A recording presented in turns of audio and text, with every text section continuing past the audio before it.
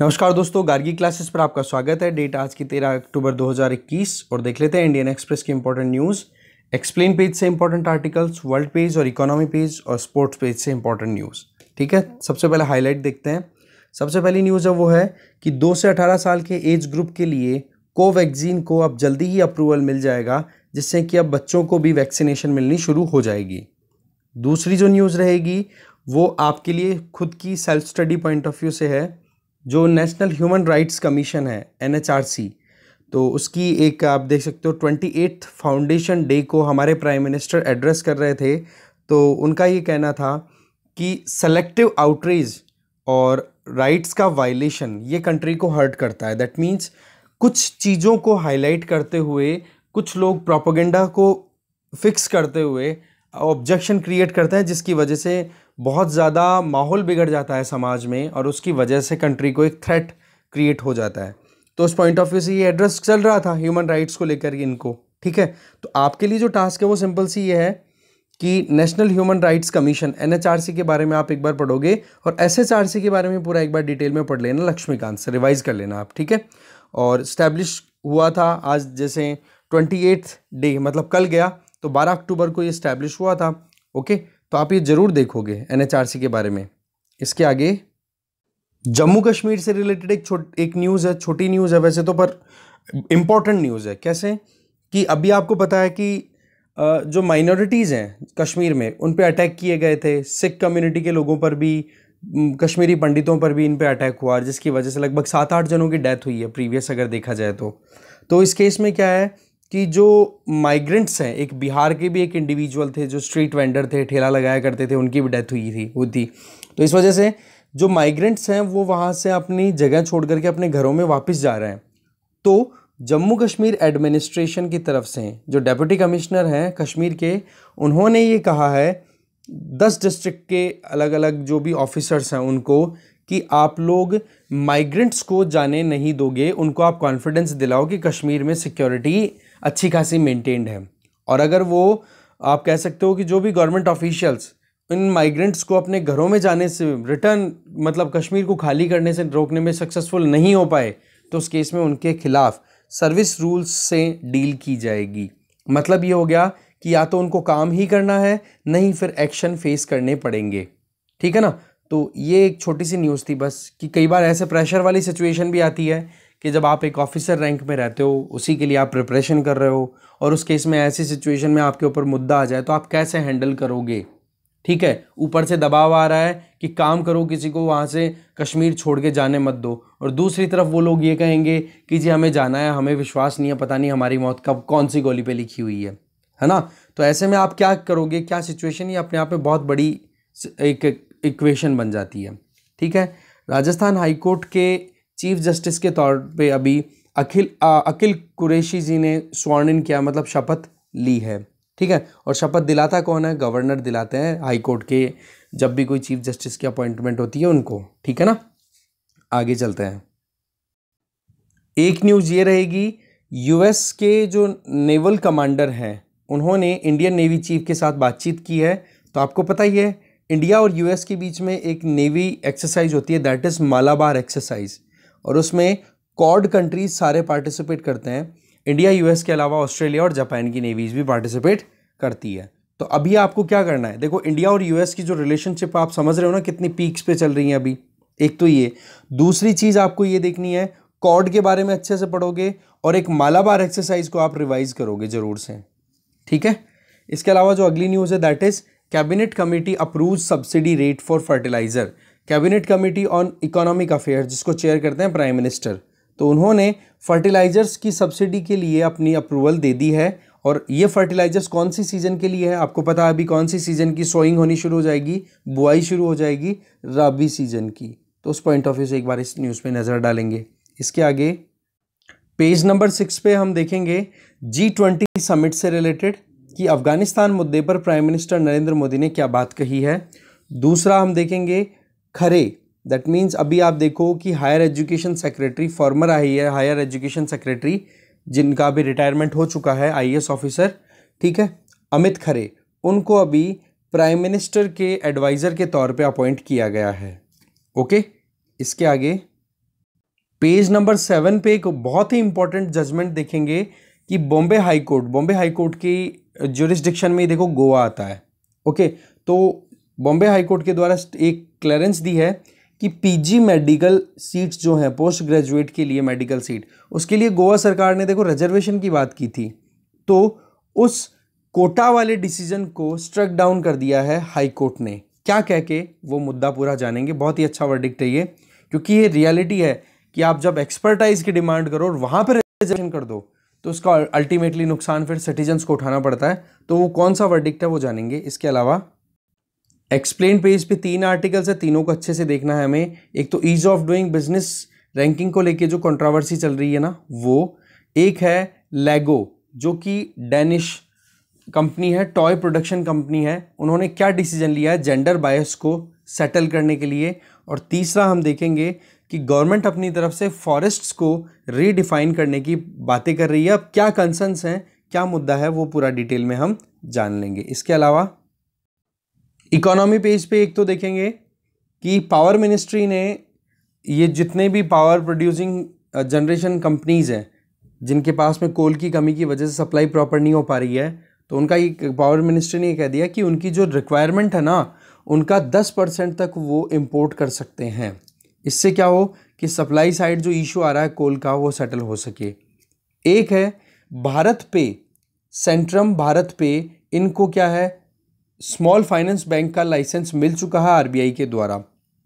अब देखो बात ऐसी है, स्मॉल फाइनेंस बैंक्स क्या होते हैं, क्या कंडीशंस होती है इनकी काम करने की, इनके बारे में आप एक बार ज़रूर पढ़ोगे। अब की बार तो चलो इंस्टीट्यूशन के बारे में क्वेश्चन नहीं आया यूपीएससी प्रीलिम्स में, पर ज़रूरी है इन इन चीज़ों को हम बिल्कुल भी छोड़ नहीं सकते, ठीक है? तो स्मॉल फाइनेंस बैंक्स, वैसे तो आरबीआई से रिलेटेड क्वेश्चन तो थे ही मॉनेटरी पॉलिसी से इनसे रिलेटेड ठीक है ना? तो स्मॉल फाइनेंस बैंक के बारे में एक बार पूरी डिटेल गेन करोगी यूपीएससी पॉइंट ऑफ़ व्यू से। इसके अलावा आईएमएफ ने देखो इंडिया की जो ग्रोथ रेट है, उसके लिए फोरकास्ट दी है कि 2021 मतलब 2021 का जो साल है ना, इसमें तो 9.5 परसेंट इंडियन इकोनॉमी ग्रो करेगी और 2022 में 8.5 परसेंट से इंडियन इकोनॉमी ग्रो करेगी। ये बात बोली है इंटरनेशनल मॉनेटरी फंड के द्वारा बोली गई है। इसके अलावा वर्ल्ड पेज पे और जो स्पोर्ट्स पेज पे, उस पर नज़र और डालेंगे। तो चलिए स्टार्ट करते हैं एक्सप्लेन पेज से डिटेल में डिस्कशन फ़र्स्ट एक्सप्लेन पेज पे ईज ऑफ़ डूइंग रैंकिंग को लेकर के जो कंट्रोवर्सी चल रही है, उससे रिलेटेड बात है। देखो, अभी ट्यूसडे की बात है, जो आईएमएफ की एग्जीक्यूटिव बोर्ड है, उनसे सवाल पूछे गए और सबसे मेन जो सवाल पूछे गए, वो टारगेटेड थे किसके लिए? अभी जो करंट मैनेजिंग डायरेक्टर हैं आईएमएफ की, जिनका नाम है क्रिस्टलिना जॉर्जीवा ये आपके सामने स्क्रीन पे इनकी इमेज है। तो इनसे पूछा गया कि भाई, क्या है पूरा मुद्दा? वर्ल्ड बैंक में जो ease of doing business ranking को लेकर के जो डेटा के साथ मैनिपुलेशन किया गया है उसमें तो आईएमएफ के जितने भी स्टाफ मेंबर्स थे, उन्होंने क्रिस्टलिना जॉर्जीवा को सपोर्ट किया है कि इनमें हमें पूरा कॉन्फिडेंस है इन्होंने कुछ गड़बड़ नहीं की होगी। तो देखो ये जो कंट्रोवर्सी है, इसकी शुरुआत यूँ मान के चलो 2017 के लगभग हो जाती है, जब इनको चीफ एग्जीक्यूटिव के तौर पे वर्ल्ड बैंक ग्रुप में अपॉइंट कर दिया जाता है। और एक टेम्प्रेरी बेसिस पे, क्योंकि उस टाइम पे वर्ल्ड बैंक ग्रुप के उस टाइम चीफ एग्जीक्यूटिव हुआ करते थे जिम योंग किम उन्होंने रिज़ाइन कर दिया और आप देखोगे इनको एक तरीके से इंटरिम चीफ एग्जीक्यूटिव के तौर पे अपॉइंट किया गया था शुरुआत में। फिर उसके बाद में इनकी जो टेन्योर थी, उसको एक्सटेंड कर दिया गया परमानेंट इनको बना दिया गया था। फिर बात आ जाती है ईज ऑफ़ डूइंग बिज़नेस की जो रैंकिंग प्रोवाइड की जाती है, जिसके बेसिस पे एक तरीके से इंटरनेशनली इन्वेस्टमेंट फाइनलाइज होता है बहुत सारे इकोनॉमिस्ट हैं या आप कह सकते हो जो भी इन्वेस्टर्स हैं ease of doing business ranking को एक बार ध्यान में रखते हुए और इन्वेस्टमेंट को डायरेक्ट करते हैं अलग अलग इकोनॉमीज़ में। ठीक है ना? तो ऐसे में रोमर ठीक है यहाँ पर आप देख सकते हो सून रोमर तो इन्होंने आप देख सकते हो ये आ, रोमर है जो उन्होंने एक आइडिया दिया था कि कि किस तरीके से किसी भी इकोनॉमी के बारे में अगर आपको नॉलेज है और उस इकोनॉमी के बारे में नॉलेज के बेसिस पे आप इन्वेस्ट करते हो तो कैसे हम लॉन्ग टर्म में आ, कह सकते हैं कि हम प्रोग्रेस इंश्योर कर सकते हैं राइट तो इन्हीं चीज़ों को लेकर के ईज ऑफ़ डूइंग बिज़नेस को प्रमोट करना और फिर बाद में रोमर को नोबल प्राइज प्राइज भी मिल जाता है इकोनॉमिक्स से रिलेटेड कि लॉन्ग टर्म ग्रोथ कैसे इंश्योर की जा सकती है किसी भी इकोनॉमी में। पर फिर बाद में कंट्रोवर्सी अभी जो लेटेस्ट आई है वो ये कि सऊदी अरब चाइना और यूएई अजरबैजान इनकी रैंकिंग के साथ में छेड़छाड़ की गई है मतलब डेटा के साथ छेड़छाड़ करके और इनकी रैंकिंग को इम्प्रूव करने की एलिगेशंस लगाए गए। फिर इसके बाद में एक, आप कह सकते हो इंडिपेंडेंट इन्वेस्टिगेशन करवाई जाती है वर्ल्ड बैंक के द्वारा ही और ये मेन एफर्ट किया गया था विल्मर हेल एक लॉ फॉर्म है उसके द्वारा, ठीक है, जिसके द्वारा इन्वेस्टिगेशन किया गया। और उसमें ये पता पड़ा कि चाइना की रैंकिंग को इम्प्रूव करने के लिए चाइना ने अपनी तरफ़ से बहुत कोशिशें की। वजह क्या है? कि वर्ल्ड बैंक में यूएस जापान, इन दोनों के बाद में सबसे ज़्यादा जो कंट्रीब्यूशन है वो चाइना का ही है। तो चाइना की पकड़ अच्छी खासी है वर्ल्ड बैंक में। तो इस वजह से जॉर्जीवा पे दबाव बनाया गया था कि चाइना की रैंकिंग को इम्प्रूव किया जाए। पर फिर बाद में जब इन्वेस्टिगेशन की गई तो थोड़ा सा ये आया कि हाँ मिस मैनेजमेंट तो बहुत ज़्यादा देखने को मिला था। पर उसके बाद में कोई ऐसा कहते ना कि एक सॉलिड एविडेंसेस नहीं मिले जिसकी वजह से क्रिस्टलिना जॉर्जिवा के अगेंस्ट में कुछ कार्रवाई की जा सके। ठीक है ना? चाइना के लिए तो कहीं ना कहीं फिर भी मिल गया था मुद्दा, क्योंकि एक तो थर्ड लार्जेस्ट शेयर होल्डर है चाइना इसमें वर्ल्ड बैंक में। ये चीज़ तो हमने देखी ली। फ़र्स्ट तो यूएस है सेकंड जापान थर्ड चाइना इसके अलावा सऊदी अरब यूएई और अजरबैजान इनकी रैंकिंग से रिलेटेड कोई इतना इन्वेस्टिगेशन में आउटकम नहीं मिला था। ये जो इन्वेस्टिगेशन एजेंसी थी, जिसका नाम है वर्ल्ड विल्मर हिल अब आप देखो कि ease of doing ranking matter क्यों करती है? इसका हमें पता है ना कि इसको देख करके लोग इन्वेस्ट करते हैं अलग अलग कंट्रीज़ के अंदर।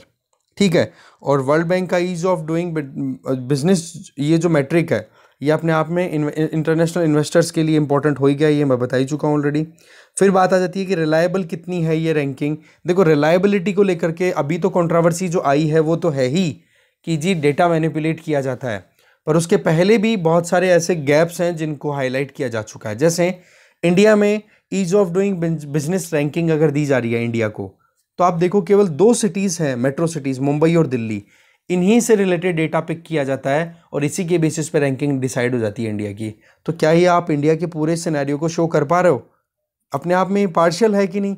दूसरी तरफ़ इंडिया ही नहीं चाइना में भी बीजिंग और शंघाई ये दो बड़ी सिटीज़ हैं, इनके परफॉर्मेंस के बेसिस पे चाइना को रैंकिंग मिल जाती है। तो ये तो वो हो गया कि आप चेरी पिकिंग कर रहे हो कि कोई भी कंट्री अपनी परफॉर्मेंस को इम्प्रूव कराने के लिए दो दो कंट्रीज़ की दो दो सिटीज़ हैं उनकी उनकी परफॉर्मेंस इंक्रीज अगर कर लेंगे तो इसका मतलब तो ये हो गया कि वो पूरा कंट्री परफॉर्म अच्छा करने लग गया।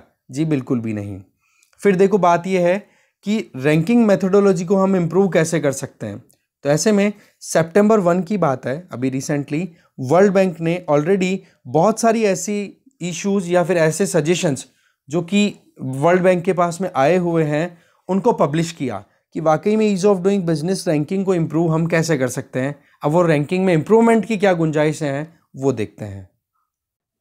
तो ease of doing business methodology को इम्प्रूव करने के तरीके कुछ की रिकमेंडेशंस है। सबसे पहला तो कि जो मेथोडोलॉजिकल शिफ्ट है, उसको कैप्चर करने की ज़रूरत है। दैट मीन्स कि अभी जो हमने देखा ना, कि केवल दो सिटीज़ के ऊपर आपने फोकस किया और उसके बेसिस में आपने पूरे कंट्री को एनालाइज कर दिया और उसके हिसाब से उसको आपने रैंकिंग दे दी। तो प्रॉपर डेटा कलेक्शन होना चाहिए मैथडोलॉजिकल वेरिएशन या मैथडोलॉजिकल जो भी कमियाँ हैं, उनको करेक्ट करना ज़रूरी है। ठीक है ना? इसमें आप देख सकते हो एक्चुअल सैंपल है, वो करेक्ट कलेक्ट होने चाहिए कि वाकई में कि डूइंग बिज़नेस इजी हो भी पा रही है या नहीं? या फिर केवल दो सिटीज़ में इम्प्रूव हो पा रही है, जिनका वो सैंपल आप कलेक्ट कर रहे हो। दूसरा गवर्नमेंट का जो फ़ंक्शन है, उसको बिल्कुल भी इग्नोर मत करो। कम से कम उन उन एक्टिविटीज़ में जिनके, जिन, जिनको हम बोलते हैं public good essential public goods में गवर्नमेंट कितना क्या कंट्रीब्यूट करती है और साथ में प्राइवेट सेक्टर को कितना प्रमोशन मिल रहा है। इसके अलावा आप देख सकते हो कि प्राइवेट सेक्टर कंपनीज़ कहीं पे अपनी फॉर्म लगा रही हैं। तो वहाँ पर ट्रांसपोर्ट कम्युनिकेशन इंफ्रास्ट्रक्चर और साथ में वहाँ की कंट्री की जो स्किल्ड वर्कफोर्स है लॉ एंड ऑर्डर है, इनको भी कंसिडर करना चाहिए ईज ऑफ़ डूइंग बिज़नेस की रैंकिंग अगर आप किसी कंट्री को देते हो। दैट मीन्स कि गवर्नमेंट की फंक्शनिंग क्या है? पब्लिक गुड्स प्रोवाइड करने में और वो भी किसको? प्राइवेट सेक्टर को। क्योंकि ट्रांसपोर्टेशन कम्युनिकेशन इंफ्रास्ट्रक्चर ये अगर अच्छा होगा तभी तो प्राइवेट सेक्टर भी ग्रोथ कर पाएगा। दो सजेशन हो गए। तीसरा ईज ऑफ़ डूइंग बिज़नेस जो है वो डाइवर्स एरे ऑफ़ इंडिकेटर्स को कवर करता है। ठीक है? पर वहाँ पर जो मीनिंग अगर मतलब निकालने की कोशिश करेंगे ना तो वेगनेस आएगी क्लैरिटी बिल्कुल भी नहीं है। और एक चीज़ निकल के आती है वो क्या? कि किसी भी इंडिकेटर में आपके पास में क्लैरिटी नहीं है तो उसको आप थोड़ा सा केवल आइडिया ले लो। पर सवाल यह आता है कि जब एग्रीगेट किया जाता है ना, पूरे अलग अलग पैरामीटर्स को जिनके बेसिस पे ईज ऑफ़ डूइंग बिज़नेस आप कैटेगराइज करते हो रैंकिंग देते हो तो ओवरऑल सेंस के अंदर उनका कोई मतलब नहीं बनता। जैसे ऑप्टिमल पॉलिसी अब ये ऑप्टिमल पॉलिसी आप क्या बोलोगे? उसको क्लियर डिफाइन करना ज़रूरी है। ठीक है ना? ऑप्टिमल टैक्स रेट किसको ऑप्टिमल टैक्स रेट बोलोगे? मतलब जो भी आप डेटा कलेक्ट कर रहे हो ना, उनका मीनिंग अच्छा होना चाहिए। वहाँ पर ऑर्बिट्रेरीनेस नहीं होनी चाहिए कि हाँ मनमानी अपने कर ली और अपने हिसाब से डिफाइन कर रहे हो, कोई भी टर्म आ रही है। उनकी क्लियर कट डेफिनेशन होनी चाहिए। फिर नेक्स्ट सजेशन आता है कि कंट्रीज़ को आप रैंकिंग देते हो कि भाई टैक्स रेट क्या चल रही है? यहाँ पर जो सजेशन है वो ये कि एक बार आप societal standpoint of view से देखो ना कि क्यों टैक्स रेट किसी कंट्री में ज़्यादा है, क्यों टैक्स रेट कहीं पे कम है? क्योंकि जैसे इंडिया की बात करें, हमारे यहाँ पर रीडिस्ट्रीब्यूशन बहुत ज़्यादा करने को होता है। तो इस केस में अगर टैक्सेशन अगर गवर्नमेंट ज़्यादा करती है तो इसका मतलब क्या हो गया कि जिनके पास में वेल्थ कॉन्सेंट्रेशन है ज़्यादा तो उन लोगों से पैसा लेकर के टैक्स के तौर पे और जो गरीब है उनकी वेलफेयर के लिए काम करेगी सरकार। ठीक है, ये प्रीलिम्स में क्वेश्चन भी था कि अगर वेल्थ कॉन्सेंट्रेशन हो जाती है तो इंडियन कॉन्स्टिट्यूशन के हिसाब से किस चीज़ का वायलेशन होगा? तो आंसर था DPSP director principle of state policy जिसके अंदर वेलफेयर की बात भी होती है और एक सोशल हारमनी प्रमोट करने की बात भी करते हैं और सोशो इकोनॉमिक जस्टिस की बात भी करते हैं। ठीक है? तो उस पॉइंट ऑफ़ व्यू से अगर देखा जाए ना तो टैक्स रेट अगर कहीं पे किसी कंट्री में ज़्यादा है या कम है, उसको आप ज़्यादा कंसिडर मत करो। ये देखो कि सोसाइटी के लिए कितना बेनिफिशियल हो रहा है। ये की रिकमेंडेशन भी आई हुई है। नेक्स्ट रिकमेंडेशन क्या है? कि कुछ ऐसे इंडिकेटर्स जिनको आपने यूज़ कर रखा है, उन इंडिकेटर्स को एलिमिनेट ही कर दो। जैसे कि माइनॉरिटी शेयर होल्डर्स की प्रोटेक्शन या इंसॉल्वेंसी कितनी जल्दी रिजॉल्व हो रही है, कोई भी अगर लोन लेने के बाद में रिटर्न नहीं कर पा रहा है। तो इन चीज़ों को आप हटा दो, क्योंकि ये रियलिटी बन चुके हैं। माइनॉरिटी शेयर होल्डर को अगर प्रोटेक्शन नहीं मिलेगी तो वैसे ही काम अच्छे से नहीं होगा। तो इसको बोला एलिमिनेट ही कर दो। फिर नेक्स्ट जो सजेशन आता है, वो ये कि गौर, जैसे गवर्नमेंट जो कॉन्ट्रैक्ट करती है उस इंडिकेटर को और ज़्यादा रेलेवेंट बनाओ। जैसे पीपीपी मॉडल की हम बात करते हैं ना तो बोला, इन चीज़ों पर भी हमें फोकस करने की ज़रूरत है। मतलब वर्ल्ड बैंक की ईज ऑफ़ डूइंग बिज़नेस में फोकस करने की ज़रूरत है। इसके अलावा एम्प्लॉइंग वर्कर्स की एक प्राइवेट सेक्टर में काम करने वाला इंडिविजुअल या फिर आप कह सकते हो कि जो भी एम्प्लॉयर है प्राइवेट सेक्टर का, वो कितने लोगों को रोज़गार दे रहा है, उसको भी हमें इंप्रूव करने की ज़रूरत है, उसको रिस्टोर करने की ज़रूरत है। पहले हुआ करता था, पर उसको हटा दिया। बोले, उसको लाने की ज़रूरत है। तब जा कर के आपको किसी कंट्री की रैंकिंग के लिए थोड़ा आइडिया लगेगा। इसके अलावा ट्रांसपेरेंसी इंप्रूव होनी चाहिए और डूइंग बिज़नेस की जो ओवर है, वो इंप्रूव होनी चाहिए। मतलब कि आप किन किन एरियाज़ पे फोकस कर रहे हो, उनको आप बिल्कुल भी ढीला मत छोड़ो। ऐसा नहीं कि आपने ऑब्जर्वेशन दिया तो एकदम पीक टाइम पे आकर के ऑब्जर्वेशन ले लिया किसी भी सिटी का और उसके हिसाब से उस कंट्री को रैंकिंग दे दी। अरे भाई, पूरे साल की अगर आप ऑब्जर्वेशन करोगे, तब जा कर के ही तो पता पड़ेगा ना कि वाकई में उस सिटी के अंदर, उस पर्टिकुलर एरिया में या कंट्री में कैसी परफॉर्मेंस आ रही है डूइंग बिज़नेस की। तो देखो, बात ऐसी है कि ये कुछ रिकमेंडेशंस थी कंट्रोवर्सी भी हमने जान ली है।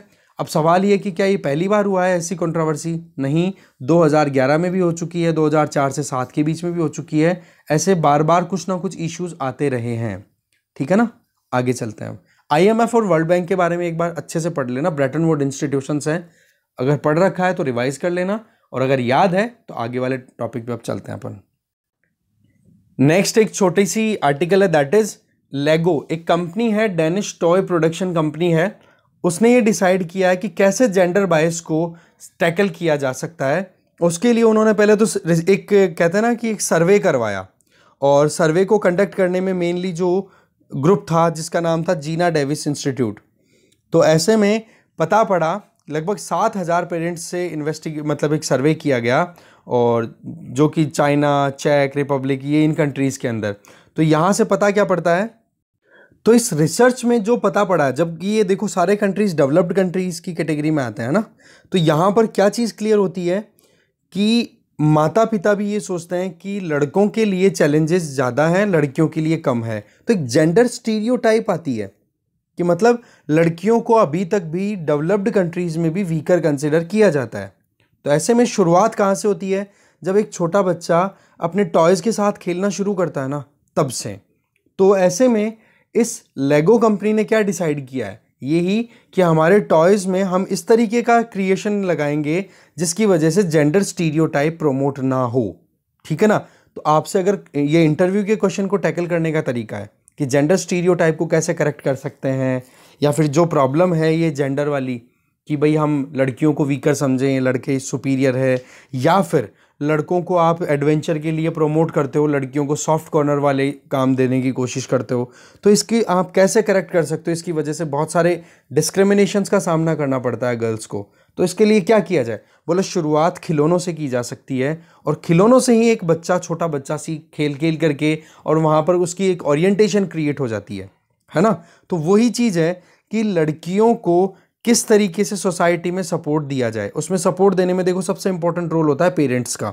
पेरेंट्स भी अभी देखो कि डेवलप्ड कंट्रीज़ में जब पूरे ये सर्वे किया गया ना तो पता पड़ा कि बहुत ही ज़्यादा हिच रखते हैं दिमाग के अंदर कि हाँ भाई, लड़कियों के लिए क्या काम होना चाहिए, लड़कों के लिए क्या काम होना चाहिए। जैसे यहाँ पर लगभग एग्ज़ाम्पल देखो कि 82 परसेंट लड़कियाँ ये मानती हैं। मतलब लड़के और लड़कियों के अंदर भी क्या बिहेवियर है? माता पिता को तो छोड़ो एक बार। सेवेंटी फोर बॉयज़ का ये मानना है, सेवेंटी परसेंट बॉयज़ सर्वे जो हुआ ना उसमें, सेवेंटी परसेंट बॉयज़ का ये मानना है कि कुछ एक्टिविटीज़ ऐसी हैं जो केवल लड़कियों के लिए हैं और बाकी बची हुई जो हैं वो सारी की सारी लड़कों के लिए है। तो यहाँ पर भी आप देखो कि एक्टिविटीज़ में भी जेंडर इशू आ गया। दूसरा एट्टी टू परसेंट गर्ल्स से ही पूछा गया ना कि आप ये बताओ फुटबॉल खेलने में कितना कंफर्टेबल हो। तो लड़कियों ने कहा कि that's okay to play football पर बॉयज़ की अगर बात करें तो उनके लिए कुछ और ज़्यादा एडिशनली डिफ़िकल्ट सिचुएशन क्रिएट की जाती है।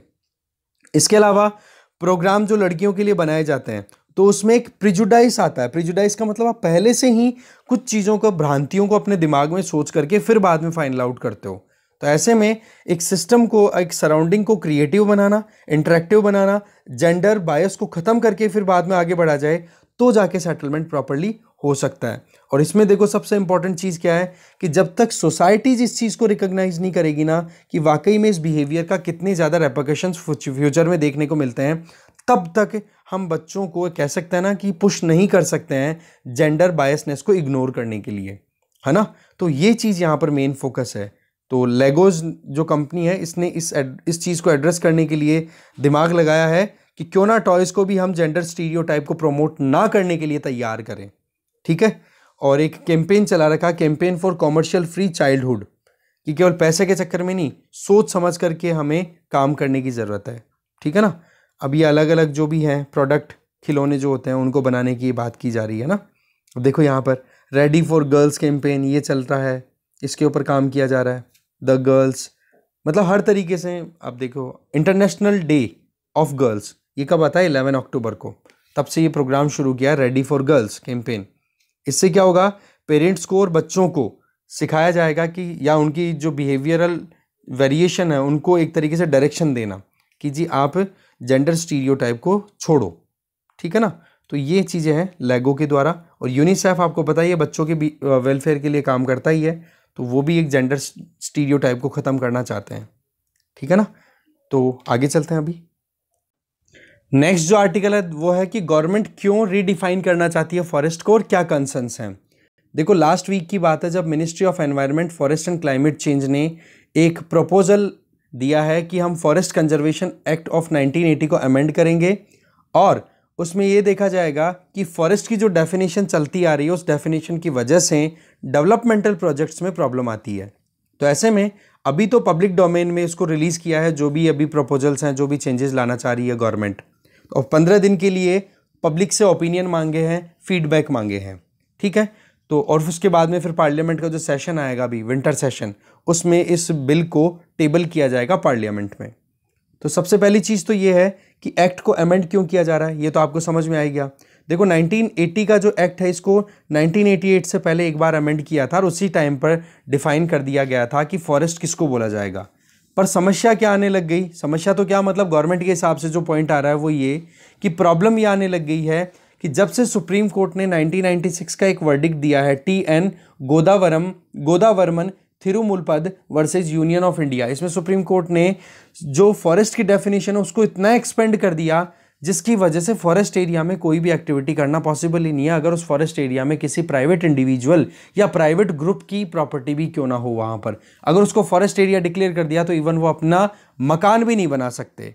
इसके अलावा मेन जो प्रॉब्लम है वो आ रही है मिनिस्ट्री ऑफ़ रेलवेज को और मिनिस्ट्री ऑफ़ रोड ट्रांसपोर्ट को। क्योंकि वो कोई भी कंस्ट्रक्शन करना चाह रहा है, कोई भी प्रोजेक्ट अगर कंटिन्यू करना चाहते हैं और कोई भी स्ट्रेच अगर फॉरेस्ट का क्लियर करना है तो उनको बहुत ज़्यादा मुश्किलों का सामना करना पड़ता है, क्योंकि सुप्रीम कोर्ट का 1996 का वर्डिक्ट उनको रोकता है। तो उसी चीज़ को करेक्ट करना चाह रहे हैं। डिमांड ये है कि डेवलपमेंटल एक्टिविटीज़ जो है, उनको कंटिन्यू किया जा सके। तो ये है मेन बात तो। अब अमेंडमेंट क्या प्रपोज किए हैं, वो देखते हैं।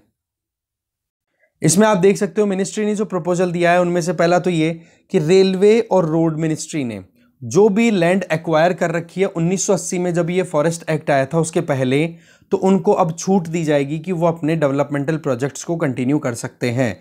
अब उनको एनवायरमेंटल क्लियरेंस लेने की ज़्यादा ज़रूरत नहीं होगी। एक तो प्रपोजल ये है गवर्नमेंट के द्वारा। वो बात अलग है कि फीडबैक आ रहे हैं, वो अलग होगा। फ़िलहाल तो एक तो ये गवर्नमेंट चाहती है।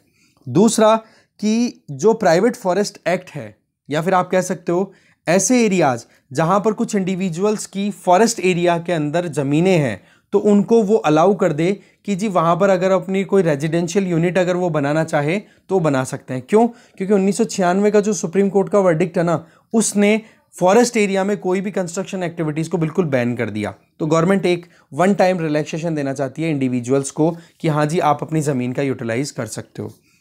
अगर कोई डिफेंस प्रोजेक्ट है जो कि इंटरनेशनल बॉर्डर्स के पास में चल रहा है। और वहाँ पर अगर फॉरेस्ट एरिया है और उस फॉरेस्ट एरिया को क्लीन करने की नौबत अगर आ रही है तो उसको थोड़ा सा छूट देने की बात की जा रही है गवर्नमेंट के द्वारा, जो ये प्रपोजल दिया है ड्राफ्ट बिल में।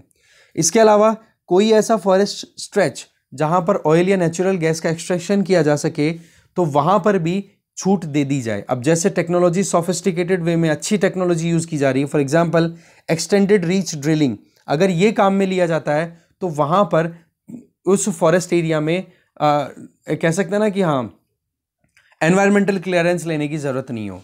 मिनिस्ट्री ने अपनी तरफ़ से एक प्रपोजल ये दिया है कि कोई भी एरिया जो कि नॉन फॉरेस्ट्री पर्पजेज़ के लिए अगर यूज़ करना हो तो उसके लिए आप कह सकते हो कि एक तरीके से रिन्यूएबल कार वो जो पूरा मुद्दा रहता है लाइसेंस के लिए कि एक बार आपने फॉरेस्ट एरिया को नॉन फॉरेस्ट्री पर्पजेज के लिए यूज़ करना शुरू कर दिया, एक टाइम पीरियड के लिए आपने उसको लीज पे दे दिया, फिर उसके लाइसेंस को रिन्यू करना तो बोलो वो रिन्यू करवाने की नौबत नहीं आएगी। एक ये गवर्नमेंट ये चाहती है।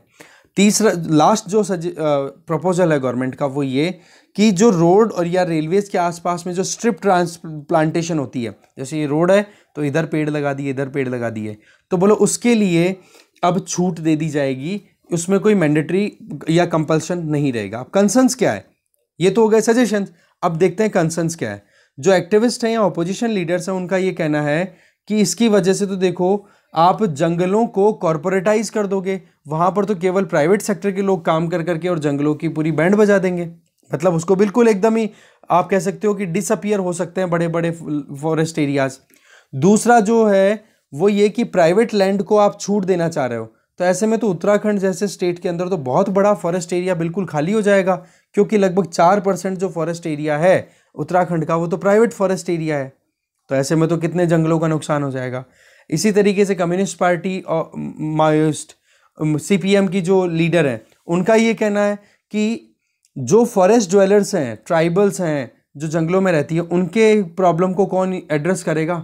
एनवायरमेंटलिस्ट है, उनका ये कहना है कि रोड और रेलवेज़ की अगर बात करें तो उनको जो भी 1980 से पहले रोड और रेलवेज़ ने लैंड एक्वायर कर रखी है, वहाँ पर अगर कोई भी एक्टिविटीज़ की जाती है तो वो तो डेट्रीमेंटल हो जाएगा, क्योंकि already human wild life conflict होते रहते हैं, चाहे एलिफेंट हो, चाहे टाइगर्स हो, चाहे लेपर्ड्स हो, ये कितने ज़्यादा इनकी डेथ होती रहती है तो ये नुकसान हो जाएगा।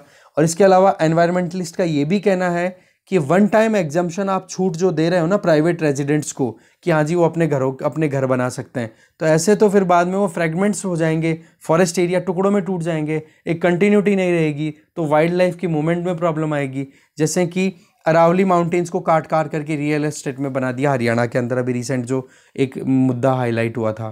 तो बोले, ये तो इकोलॉजी के लिए हार्मफुल हो जाएगा।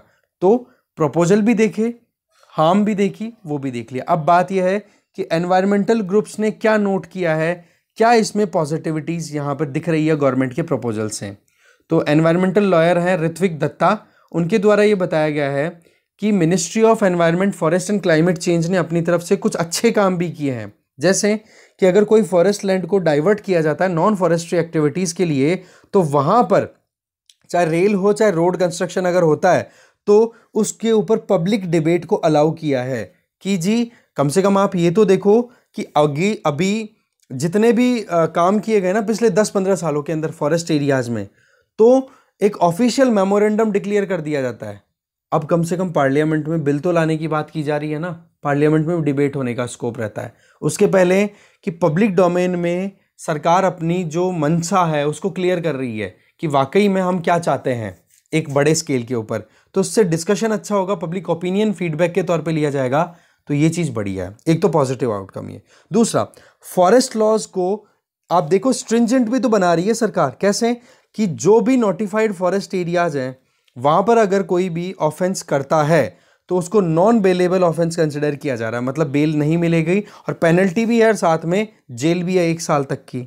इसके अलावा जो फॉर सर्टेन फॉरेस्ट एरियाज़ हैं, जो फिक्स हैं, उनको गवर्नमेंट बिल्कुल भी डाइवर्ट नहीं करना चाह रही है। मतलब जो है ना फॉरेस्ट एरिया जो बहुत ही ज़्यादा इंपॉर्टेंट है इकोलॉजिकली उनको डाइवर्ट करने का बिल्कुल मूड नहीं है और सरकार ने बिल्कुल ये कानून में फिक्स कर रखा है। इसके अलावा फॉरेस्ट को आइडेंटिफाई करना डिफाइन करना ये देखो एम्बिग्यूस नहीं होना चाहिए क्लियर होना चाहिए, बस थोड़ा सा ये है। है कि नहीं? तो ये कुछ पॉजिटिविटीज़ भी हैं। आगे चलते हैं। फिर आगे हम कुछ इंपॉर्टेंट जो न्यूज़ बची हुई है उनके ऊपर नज़र डालने के लिए। यूएस नेवी के जो कमांडर हैं, वो अभी देखो इंडिया के विज़िट पे आए हुए हैं। आप देख सकते हो US chief of naval operations admiral Michael Gilday ये देखो हमारे नेवी चीफ करमबीर सिंह जी के साथ में अभी न्यू दिल्ली में ये इमेज है। तो बेसिकली इनकी विज़िट आप देख सकते हो। इंडो पैसिफिक रीजन में अभी जो एक्टिविटीज़ हो रही हैं, सबसे इम्पोर्टेंट तो क्या है? चाइना की जो मसल फ्लैक्सिंग दैट मीन्स अपनी जो एग्रेशन दिखाई जा रही है, उसको कंटेन करना। और एक आपको पता है कि कॉड मेंबर्स के बीच में हमारे मालाबार एक्सरसाइज होती है ही, जिसमें इंडिया यूएस ऑस्ट्रेलिया जापान की नेवीज पार्टिसिपेट करती है। तो ये अपने आप में एक इंपॉर्टेंट चीज़ है इंपॉर्टेंट इवेंट है ये। इसके अलावा नेक्स्ट न्यूज़ है, देखो cabinet committee on economic affairs ने अभी जो सब्सिडी प्रोवाइड की जानी है फर्टिलाइजर्स के लिए, उसको अप्रूवल दे दिया है। तो इसको क्या बोला जाएगा? Nutrient based subsidy that means phosphorus potash in fertilisers को प्रमोशन देना सब्सिडी देना, जिससे कि सस्ते में किसानों को ये फैसिलिटेट हो सके। और ये अप्लाई कब से कब तक होगी? एक अक्टूबर 2021 से मार्च इकतीस 2022 इसका मतलब क्या हो गया? ये जो करंट रबी सीज़न चल रहा है ना, उसके लिए।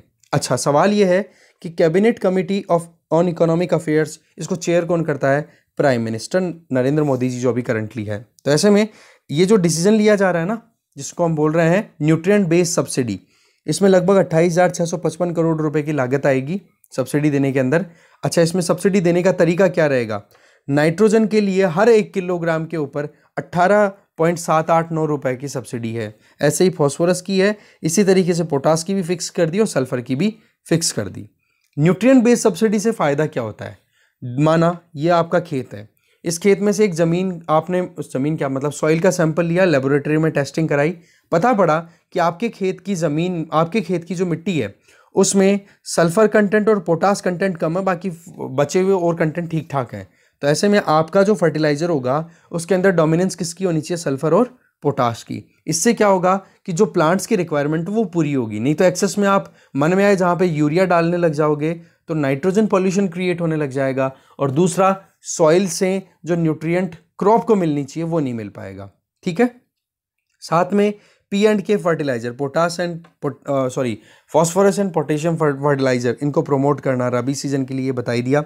और सब्सिडाइज रेट पे अफोर्डेबल प्राइस पे प्रोवाइड करना, जिससे कि किसानों को परेशानी ना हो। और इसके लिए आप देख सकते हो डीएपी डाई अमोनियम फॉस्फेट जो फर्टिलाइज़र आता है वो, और N P N P K that means nitrogen phosphate और नाइट्रोजन फॉस्फोरस और पोटेशियम इनकी भी जो रिक्वायरमेंट है वो प्रॉपरली देखी जाएगी। ठीक है क्या क्या भाव रहेंगे वो यहाँ पे बताया हुआ है। तो आपके लिए जो टास्क है ना, वो रहेगी कि न्यूट्रिएंट सब्सिडी स्कीम ये क्या है पूरा सिस्टम ठीक है ना? अच्छे से देखना है इसको। आगे चलते हैं हम। नेक्स्ट न्यूज़ है जी ट्वेंटी समिट में हमारे प्राइम मिनिस्टर नरेंद्र मोदी जी ने अफ़गानिस्तान के मुद्दे को फिर से हाईलाइट किया है कि बोले टेररिज्म के लिए यूज़ नहीं होना चाहिए। अब देखो जी ट्वेंटी कंट्रीज़ क्या है, आपको पता ही है। ये जी ट्वेंटी ग्रुप जो है वर्ल्ड की ट्वेंटी मेजर इकोनॉमीज़ का ग्रुप है। ठीक है ना? और अभी इसको चेयर कर रहे हैं इटली के प्राइम मिनिस्टर जिनका नाम है मारियो ड्रागी। अब जी ट्वेंटी जो है ना ग्रुप उसके बारे में आप एक बार डिटेल अच्छे से पढ़ोगे। बहुत इंपॉर्टेंट ग्रुप है, ठीक है? और जो मुद्दा था जिसको हाईलाइट किया गया है नरेंद्र मोदी के द्वारा, वो है यूनाइटेड नेशन सिक्योरिटी काउंसिल की जो रेजोल्यूशन है, जो कि इंडिया की प्रेसिडेंटशिप के टाइम पे अगस्त 2021 में लिया गया था दैट वाज 2593 इसमें क्या था कि अफ़गानिस्तान की ज़मीन को कैसे भी करके टेररिस्ट एक्टिविटीज़ के लिए यूज़ नहीं होने देना है, वहाँ के लोगों के लिए जो ह्यूमैनिटेरियन क्राइसिस आ रहे हैं उनको हैंडल करना है। ये था इस रेजोल्यूशन में। तो अफ़गानिस्तान से संबंधित ये रेजोल्यूशन था। ठीक है? बाकी तो देखो, आपको पता ही है इंडिया और इंडिया और अफ़गानिस्तान के लोगों के बीच में हमारे पीपल टू पीपल टाई कितने अच्छे हैं सॉफ्ट पावर इंडिया की कितनी ज़्यादा है। इंडिया ने लगभग तीन बिलियन डॉलर का इन्वेस्टमेंट किया था अशरफ गनी की सरकार के टाइम पे और जो हामिद हामिद करजई की सरकार थी ओवरऑल देखा जाए तो। ठीक है, इन्हीं चीज़ों को रिपीट किया गया है। मेन जो मुद्दा था वो हमने देखा, आगे चलते हैं। नेक्स्ट न्यूज़ ये है कि Goa high court Goa Goa government ने कोटा डिसीज़न लिया था मतलब रिजर्वेशन देने की बात की थी, जो पोस्ट ग्रेजुएशन मेडिकल सीट्स हैं उनमें। तो उसको स्ट्रक डाउन कर दिया गया है किसके द्वारा? हाई कोर्ट के द्वारा। हाई कोर्ट कौन सा लगता है? गोवा में बॉम्बे हाई कोर्ट तो इसमें बात क्या हुई वो देखते हैं। देखो 1980 की 80 की एक रूलिंग है सुप्रीम कोर्ट की। केस का नाम है डॉक्टर जगदीशन सारन जगदीश सरन और versus union of India case है। इसमें सुप्रीम कोर्ट ने एक ही चीज़ कही थी। जब हम टॉप टेक्नोलॉजिकल एक्सपर्टाइज की बात करें, उसमें भी मेडिसिन पे पर्टिकुलर फोकस करें, जो कि एक अपने आप में हमारे देश के लिए ह्यूमन एसेट के तौर पे कंसिडर कर सकते हैं, क्योंकि लाइफ सेविंग का काम है, ज़िंदगी बचाने का काम है। अगर वहाँ पर आपने जो एक एक्सपर्टाइज की रिक्वायरमेंट है, और वहाँ पर आपने इन फील्ड्स को कोल्ड शोल्डर कर दिया दैट मीन्स आपने इनको फॉर ग्रांटेड ले लिया, और रिजर्वेशन दे दिया, और क्वालिटी से थोड़ा बहुत भी कॉम्प्रोमाइज़ कर दिया तो एक बार तो आप रिजर्वेशन दे दोगे वोट पालोगे पर अल्टीमेटली नुकसान लोगों को ही होगा, क्योंकि ढंग की क्वालिटी की दवाई नहीं बन पाएगी। और इसी कोटेशन को ध्यान में रखते हुए बॉम्बे हाई कोर्ट में हाई कोर्ट ने पीजी के अंदर जो रिजर्वेशन कोटा की बात की गई थी, उसको स्ट्रक डाउन कर दिया है। ठीक है? तो ये अपने आप में बहुत इंपॉर्टेंट वर्डिक्ट है, इसलिए इसको हमने देखा। आगे चलते हैं। एक छोटी सी कंट्रोवर्सी और आ गई, वो न्यूज़ में शुरुआत में हाईलाइट नहीं कर पाया था, वो देख लो।